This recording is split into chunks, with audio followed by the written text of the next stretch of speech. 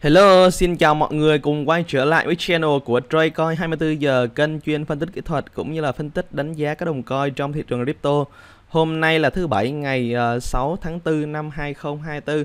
À, BTC ở trong ờ, uh, 24 giờ qua mình thấy là cũng không có những cái sự gọi là biến động quá là lớn uh, và khi mà BTC nó uh, đang đi ngang ở trong những cái khung ngắn hạn đó, À, thì chúng ta sẽ thấy là một số ít những đồng altcoin à, có những cái sự phục hồi ở đây là chỉ là một số ít thôi mọi người ha. Tại vì là thị phần của thị trường vẫn đang đổ dồn tập trung về cho BTC nên mọi người thấy là uh, chỉ số ít một số uh, những đồng altcoin có những sự tăng trưởng thôi. Uh, còn đa phần những đồng altcoin khác thì uh, nó vẫn đang gọi là uh, dậm chân tại chỗ ha. Thì chúng ta cũng sẽ là xem là cái uh, khung uh, khung ngày của BTC thì uh, ngày hôm qua thì uh, là một ngày BTC uh, đóng uh, đóng cây nến màu đỏ nhưng mà à, về cái sự khác biệt giá so với lại là ngày hôm qua cũng như là ngày hôm trước đó à, thì mình thấy là không có những cái sự gọi là khác biệt quá ha. À, thì BTC nó vẫn à, đi gọi là lăn quanh ở trong cái à, phạm vi từ là à, 67 đến 68k thôi. À, và như là mình cũng đã nói trước đó rồi hiện tại thì à, à uh, BTC của chúng ta thì vẫn đang nằm trên một cái xu hướng tăng và nó uh, vẫn đang được gọi là hỗ trợ uh, khá là tốt bởi cái uh, mốc từ 64 đến 65 uh, ờ, k ha. Thì trong thời gian qua chúng ta đã thấy là uh, ở những khu mắc 4 thì nó uh, có những sự phản ứng giá rất là nhiều. Ở cái khu vực khoảng tầm từ 64 đến 65 k và mọi người thấy là ở uh, trong xuyên suốt cái khoảng thời gian uh, uh, gần đây thì ở cái khu mắc 4 này nè thì mọi người thấy là hầu như là nó đều là đóng những cây nến doji hoặc là những cây nến spin top là những cái nến thể hiện gọi là cái sự gọi là Ờ, đấu giá giữa phe mua và phe bán ha. Mọi người thấy khu vực này thì à, nó thể hiện gọi là rất là nhiều những cây nến mà nó đóng nến chỉ với thân nhỏ thôi. Có nghĩa là khu vực khoảng tầm 64 đến 65k nè. À, khu vực này là đấu giá rất là nhiều ha. Mọi người thấy là vôn ở khu vực này thì uh, cũng có những một cái cụm khu vực này đúng không? Có những cái sự gọi là gia tăng hơn so với lại những khu vực trước đó ha thì đó là về cái xu hiện tại. Thì mình thấy là à, BTC vẫn đang được giữ được ở trên cái xu hướng tăng. À, nhưng mà tình hình hiện tại thì uh, thị trường thì cái thị phần á, vẫn đang nhường về cho BTC nên ở trong thời gian qua thì mặc dù rằng BTC uh, à, cũng gọi là tương đối là cao ha 67 đến 68k cũng là mức một mức khá là cao. Nhưng mà Ancoin thì uh, cũng đã có những cái sự điều chỉnh về tương đối. Hôm nay thì mình có uh, có cho mọi người xem gọi là cái uh, chỉ số này ha. Hiện tại thì uh, chúng ta đang xem là chỉ số gọi là Ethereum trên Bitcoin đó có nghĩa là cái uh, cái cái cái cái số liệu này thể hiện gọi là cái um, dòng tiền từ Ancoin gọi là cái trend của Ancoin uh, so với Bitcoin như thế nào. Uh, thì uh, uh, mình thấy là có, cũng có một số thông tin ở bên ngoài thị trường đang nói là gọi là Ancoin thì nó sẽ sắp gọi là kết thúc xu hướng có nghĩa là Ancoin thì nó sẽ là uh, gãy trend và nó đi vào đâu trend của Ancoin đó. Uh, thì uh, mình có mở gọi là cái uh, hai cái đường hai cái đường MA ha. À, làm cái đường MA 50 à, cũng như là MA 200 đó thì là hai cái đường này. Thì nếu mà trường hợp nó cắt lên ha có nghĩa là MA 50 à, mà cắt lên MA 200 á là chúng ta có gọi là golden rod có nghĩa là giao cắt vàng. Còn MA uh, 50 uh, mà gọi là cắt xuống so với MA 200 thì uh, chúng ta có gọi là death rod có nghĩa là giao cắt tử thần ha. Thì uh, mình thấy là có một số thông tin nói về cái vấn đề này nên mình uh, cũng sẽ phân tích cho mọi người ha. Uh, một số thông tin ở trên thị trường đang nói là Ờ, Ethereum trên Bitcoin đó ở cung tuần thì nó đang có dấu hiệu là nó à, muốn cắt khu vực này nè à, muốn cắt ở khu vực này ha. Thì à, có nghĩa là thị trường đang đi sắp vào gọi là downtrend của altcoin. À, thì mình thấy là cái thông tin này thì à, cũng là chỉ là một cái dự đoán thôi tại vì hiện tại thì à, à, mọi người đã thấy là cái uh, hai cái đường này này Death Rod và Golden Rod ha, có nghĩa là MA50 và MA200 đó thì MA50 thì nó vẫn gọi là nó đang đi, đi gần với lại MA200 thôi. Chứ nó còn nó chưa nó gọi là chưa có cách uh, xuống hẳn hoàn toàn ha. Ừ, đó là ở khung tuần. Thì mình thấy là đang có thông tin là nói là uh, cái cặp gọi là Ethereum trên BTC ở khung tuần nè. Thì MA50 đang chuẩn bị cắt xuống MA2 M200 là ờ, Death ha, gọi là do các tử thần đó. Thì Ancoin thì nó sẽ sắp bị gãy trend. Thì mình uh, mình không có nói là cái vấn đề này đúng hay là nó sai như thế nào. Nhưng mà mình có thể nói là hiện tại thì thị trường thì vẫn đang nằm trên một xu hướng tăng uh, uh, kể cả um, Bitcoin lẫn kể cả altcoin ha. Còn ở khung tuần thì nếu mà mình xem gọi là golden rod hoặc red rod á, thì mình sẽ không có xem ở khung tuần cũng như là mình cũng sẽ không có xem cái chỉ số ATAC trên BTC này luôn. Thì đó là cái hệ thống giao dịch của bản thân mình ha. Thì thường thường á, thì mình sẽ xem uh, về uh, BTC này ở cái ví dụ ở khung ngày đi thì mình sẽ là mở cái chart uh, chart uh, Bitcoin Trendo ha. Nhưng mà mình sẽ là mở cái uh, chart của index hơn. Tại vì index thì uh, gọi là cái thông tin đó mọi người nó sẽ uh, lưu lại cái lịch sử khá là khá là lâu ha. Thì uh, chúng ta có thể thấy là ở trong những thời gian trước đó thì vào quãng thời gian mình đang mở là uh, Bitcoin ha trên đô ở cái khung ngày. Thì vào quãng thời gian như là mùa trước á, thì uh, vào cái thời điểm là khoảng tầm tháng 4 đến tháng 5 thì mọi người, mọi người đã thấy là uh, MA 50 nó cắt xuống MA 200 nè. Chúng ta có uh, giao cách uh, giao cách tử thần gọi hay còn gọi là death rod ha. Uh, thì lúc đó BTC nó đang nó đã có những sự giảm mạnh khá là mạnh. À, từ ở mốc 60k và giảm về khoảng tầm 28k ha là giao cắt ở khu vực này nè. Là nó diễn ra vào quãng thời gian như là tháng 6 và BTC nó đi cái uh, mức sideways rất là khó chịu ở cái thời gian như là từ tháng 5 cho đến gọi là uh, tháng 7 ha.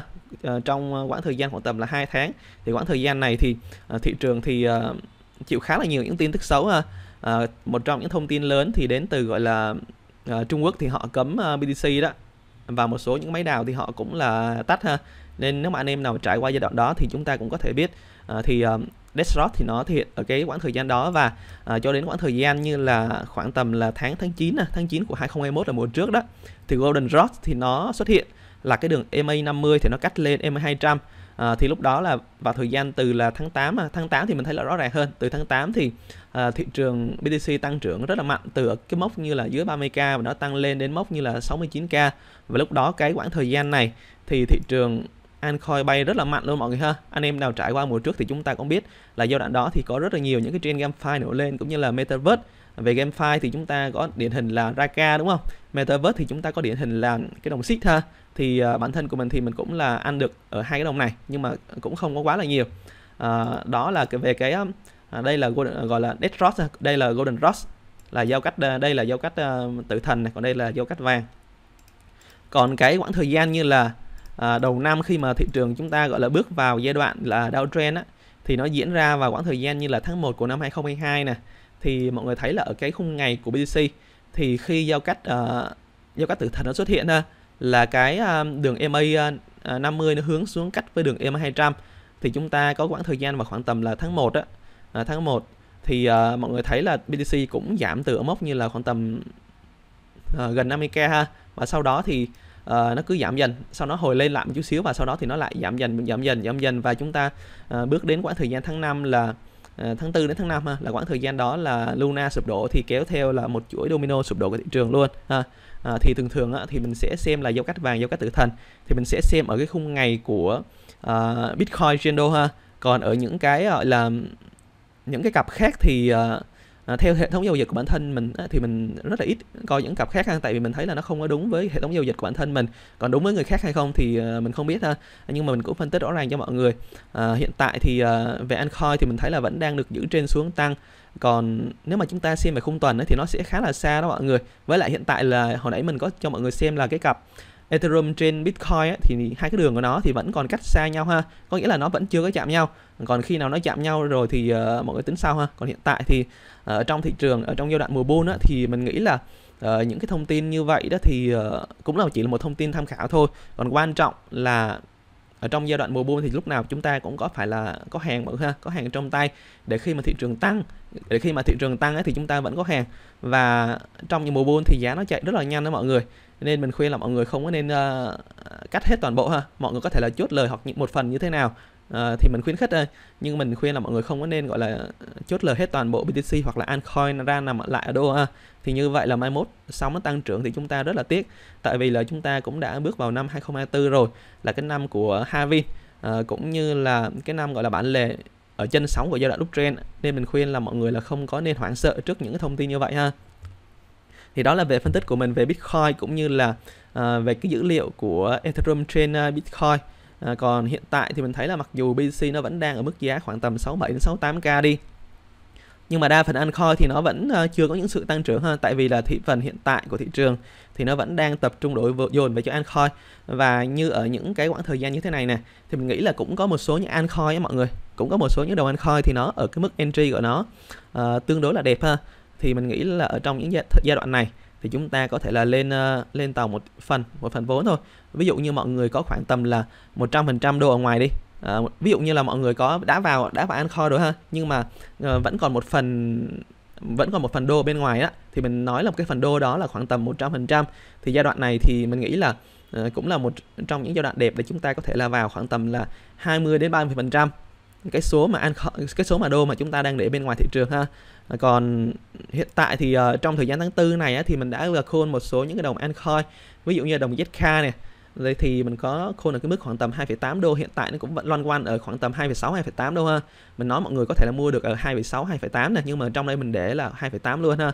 Bitso này mình nói mọi người mua ở khoảng tầm là Ờ, uh, 0,6 mấy à. Nhưng mà mình ờ, khi mình đăng lên nó khoảng tầm là 0,64 mình cũng ghi vào 0,64 ha. STRK cũng khoảng tầm là 1,89 nè. ARB thì sáng hôm nay thì mới uh, mình mới có đăng ở trên uh, một bài ở trên uh, Twitter đó là 1,43 ha. Cũng như là Zeta là 1,9 nè. Thì trong uh, thời gian đầu tháng 4 đến hiện tại thì mình có nói mọi người là mua được năm cái đồng này. À, nhưng mà mình khuyên là mọi người là à, chỉ nên vào một phần vốn thôi. Chúng ta cũng không có nên gọi là vào thêm tại vì là thị trường á thì nó cũng ờ, đã tăng ờ, một cái giai đoạn cũng khá là khá là lâu ha. Từ thời gian như tháng 10 cho đến hiện tại rồi cũng khá là lâu rồi. Nên mình nghĩ là ở giai đoạn này mặc dù BTC điều chỉnh đi nhưng mà mình nghĩ là nếu mà hợp lý thì chúng ta có thể là vào một phần altcoin thôi. Nhưng chứ chúng ta không có nên là vào hết toàn bộ cái số tiền của chúng ta ở bên ngoài thị trường vào ha. Còn ở trong giai đoạn uh, quý 2 quý 2 này thì đương nhiên mình sẽ là tổng hợp cái uh, cái bảng này ha. Uh, để khi mà kết thúc quý 2 thì mình sẽ là đăng lên cho mọi người để mọi người có thể là nhìn lại là uh, cái quá trình mà những cái kèo mình đã call ở trong giai đoạn là quý 2 như thế nào? Còn quý 1 thì đương nhiên là mình đã là call rất là nhiều đồng coin lên đến tận là 20 đồng ha. Cái này là khoảng là quý 1 là tháng 1 tháng 2 tháng 3 và kể cả tháng 12 luôn mọi người ha. À, nhưng mà mình tổng hợp luôn ở trong đây. Thì trong giai đoạn như là quý 1 thì mình có call khoảng tầm 20 20 kèo và có đến là 17 kèo win ha và khoảng tầm là 3 kèo thua. Thì những cái kèo này trên đây thì mình cũng đã list lại những cái vùng entry cũng như là những cái vùng ATH ha. Uh, win 17 kèo này với cái profit khoảng tầm là 2640 và cái uh, những cái uh, kèo thua khoảng tầm là uh, âm 56% ha. Trong đó thì có một số những kèo nổi bật như là Shiba nè, tăng 39% nè. Uh, Dogecoin tăng 178% ha. Đồng khao tăng 145% ETHW tăng 112%, BNB tăng 156%, ha. Velo tăng 665%. À, còn những cái kèo mà bị âm à, cũng như là cái kèo ờ, thời gian gọi là gần gần khoảng tầm là tháng 3 mình nó khô ha là Mubi này âm 7% này, Nibi âm 45% ha và Zeta âm ờ, nhẹ một chút xíu là khoảng tầm âm 4%. Thì những kèo nào thắng, kèo nào thua thì mình đều có list lại ở trong ờ, cái giai đoạn như là thời gian vừa rồi ha. Thì đến quãng thời gian như là uh, cuối của quý 1 á, thì mình sẽ tổng hợp lại cũng như là thời gian tới thì cuối quý 2 cuối của quý 2 thì mình cũng sẽ tổng hợp lại luôn thì uh, hiện tại thì mình thấy là hôm nay là cũng là thứ bảy rồi mai là chủ nhật. Mình nghĩ là thị trường thì cái sóng của thị trường á thì nó sẽ không cũng không có đi quá là mạnh đâu mọi người. À, nên à, à, cuối tuần thường thường á, thì thị trường sẽ cái thanh khoản nó sẽ là khá là thấp á. nên mọi người có trade thì mọi người cũng nên cân nhắc vấn đề này ha. Thì có lẽ mình nghĩ là đầu tuần sau thì à, thị trường sẽ có nhiều những cái thông tin gọi là lớn hơn. Còn đầu tuần sau mà nếu mà BTC à, nó đóng ở cái mức này nè thì mình nghĩ là cũng uh, khá là khó đoán có nghĩa là cái gọi là cái xu hướng nó không rõ ràng lắm mọi người. Còn nếu mà trường hợp ở trong những cái giai đoạn như là uh, tuần sau mà BTC nó đóng được ở trên cái mức giá khoảng tầm 70k này thì mình nghĩ là thị trường sẽ có cái sự khả quan hơn rất là nhiều ha. Thì nếu mọi người thấy video hữu ích thì có thể để lại một like cũng như đăng ký kênh hoặc bật chuông thông báo. Và mọi người có thể là tham gia vào nhóm Telegram. Link mình có để dưới phần mô tả. Trong Telegram mình sẽ thường xuyên cập nhật những thông tin về tình hình thị trường. Mình xin cáo mọi người và hẹn gặp lại mọi người những video sau.